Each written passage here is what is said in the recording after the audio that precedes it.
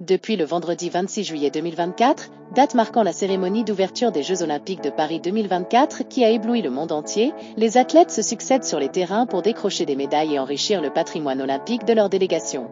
Les Français peuvent être fiers de leur performance. Actuellement, la France occupe la troisième place au classement des nations avec 48 médailles à son actif. 13 d'entre elles sont en or, et près du tiers sont attribuées à Léon Marchand, qui a récemment décliné une dédicace à une petite fille.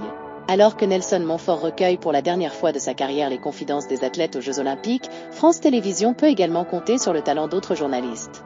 Parmi eux, Laurent Luyat, Mathieu Lartaud, Leila Kadour, Laurent Delahousse, Julien Bugier et Anne-Sophie Lapix, dont la mission est de présenter le journal de 20 heures en semaine pendant la compétition. Cependant, la santé de la journaliste de 52 ans a suscité la curiosité des téléspectateurs. Anne-Sophie Lapix apparaît depuis plusieurs jours avec une attelle au poignet droit. Bien qu'elle ne se soit pas exprimée jusqu'à présent sur ce petit souci de santé, la femme d'Arthur Sadoun, qui a été touchée par le cancer, vient de sortir du silence. Le Parisien a contacté la journaliste de France Télévisions. Et non, Anne-Sophie Lapix n'a pas serré trop fort la main de Teddy Riner, champion olympique. Je me suis cassé le poignet au beach volley. Mais ce n'était pas au pied de la tour Eiffel, a-t-elle déclaré avec humour à nos confrères. La blessure est donc sans gravité pour Anne-Sophie Lapix qui devrait continuer son rôle chez France Télévisions jusqu'à ce dimanche 11 août, date de clôture des Jeux 2024, dont les premiers détails de la cérémonie ont été révélés.